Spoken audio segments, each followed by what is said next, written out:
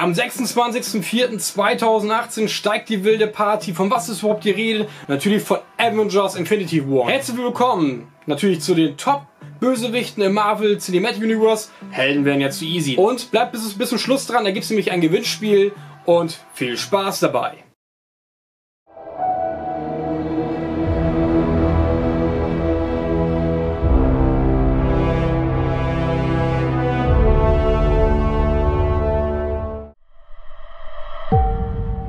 Beginnen wir mit Platz 15 und die belegt erstmal der Bösewicht Baron von Strucker.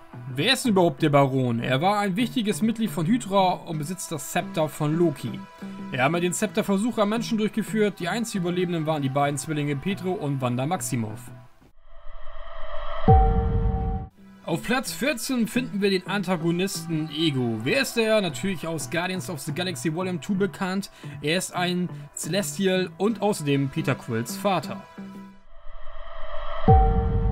Wenn wir schon bei Guardians of the Galaxy Volume 2 sind, also generell im Guardians-Universum, dann gehört auf Platz 13 natürlich Nebula. Nebula ist zusammen mit Gamora eine der zwei adoptierten Töchter des intergalaktischen Kriegsfürsten Thanos. Sie diente als die rechte Frau von Ronan, der Anträger, um für ihren Vater an den Orb zu gelangen.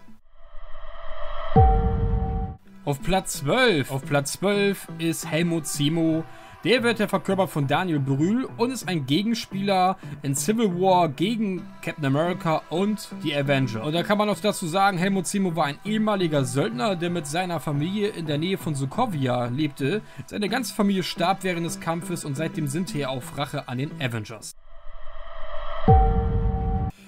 Auf Platz 11 ist nämlich der Winter Soldier oder eher bekannt als Bucky Barnes, der eine Gehirnwäsche bekommen hat von der Hydra und der ja ein sehr guter Kumpel von Captain America ist und ich finde, weil er ja nicht ein Held ist und ja kein Bösewicht, aber trotzdem das super verkörpert hat, ist er halt nur auf Platz 11.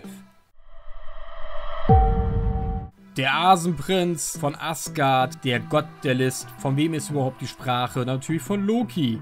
Er ist der Bruder von Thor und der Sohn von Odin. Leider konnte er in dem Film Avengers überhaupt nicht gegen sie antreten. Er hatte keine Chance gegen Hulk und den Rest und deswegen nur auf Platz 10.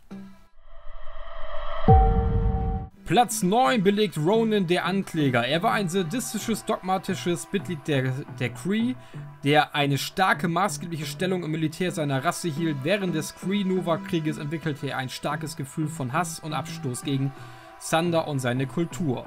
Ja, aber man kennt ihn natürlich aus Guardians und er war halt ein Gehilfe von Thanos, um an einen der Infinity-Steine zu bekommen. Er versuchte an den Power Stone zu gelangen, wurde jedoch von den Guardians daran gehindert und getötet.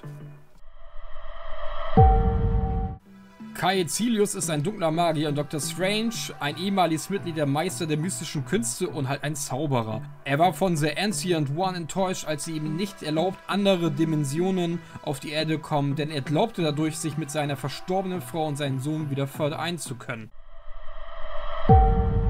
Auf Platz 7 ist Dr. Darren Cross alias Jello Jacket, der Widersacher gegen Ant-Man und der sich mit einem modifizierten Anzug, den Jello Jacket, nämlich weiterentwickelt hatte und gegen ihn antrete. Wer Thor Ragnarok gesehen hat oder mein letztes Video, der weiß, dass Hela die Gott des Todes ist oder halt auch Bruder ähm, oder auch die Schwester von natürlich Thor und Loki oder halt die Tochter von Odin. Auf Platz 5 haben wir Ulysses Klaues, ein Niederländer, geboren als Waffenhändler und berühmter Forscher, der in Afrika war, um Vibranien zu suchen, also in Wakanda. Wer natürlich Black Panther gesehen hat, der weiß natürlich, oder Civil War vorher, ah, und wird verkörpert ja von Andy Serkis und ich muss sagen, richtig gut. Dieser Charakter ist einfach nur der Hammer. In der Vergangenheit hatte er bereits mit Tony Stark zu tun, als dieser noch im Waffengeschäft tätig war.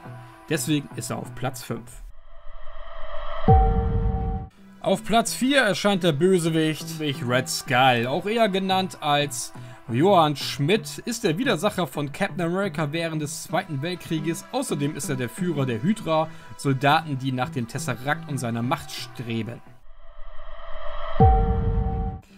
So, nun Leute, jetzt kommen wir unter die heißen Top 3, nämlich mit den Killmonger.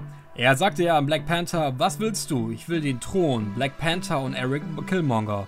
Njadaka ist ein vakandischer Krieger, der Jahre nachdem er von T'Chaka mit seiner Familie verbannt wurde, unter dem Namen Eric Killmonger zurückgekehrt, um sich an T'Challa zu rächen, um ihn zu entthronen. Was ihn dazu bringt, sich mit einem Ulysses Claus zu verbünden. Er hat wie in den Comics einen goldenen Vibranium-Anzug. Auf Platz 2 ist der Roboter Ultron, der natürlich in Avengers 2 Age of Ultron vorkam. Er ist eine von Tony Stark künstlich erschaffene Intelligenz mit einer eigenen Persönlichkeit. Sein Protokoll schrieb ihm vor, die Welt vor Bedrohung zu schützen. Ultron selbst interpretierte seine Mission jedoch so, dass er nur einen einzigen Weg sah, Weltfrieden zu schaffen. Dies war die Auslöschung der Avengers und die Vernichtung der Menschheit, um die Welt von Chaos zu befreien.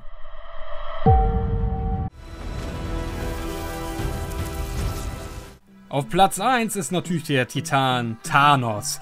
Der Anführer der Chitauri und der Chitauri Cyborg-Drachen. Er sammelt die Infinity-Steine, um mehr Macht zu erhalten. Aber auch ohne die Steine gilt er als der eines der mächtigsten Wesen im Universum.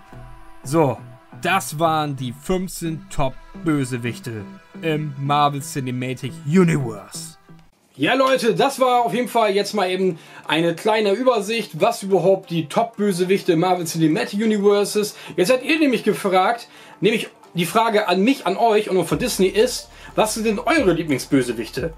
Und das könnt ihr nämlich jetzt gewinnen. Zu gewinnen gibt es erstmal ein cooles Avengers Cap, dazu ein A1 gefaltetes Poster und ein cooles T-Shirt mit den ganzen Infinity-Steinen drauf. Ja, ich will mal sagen, das sind wieder geile Preise. Das ist nämlich jetzt erstmal fern von meiner Road to 1000 Abo-Special Gewinnspielverlosung. Ne? Die ist nochmal hier der Link.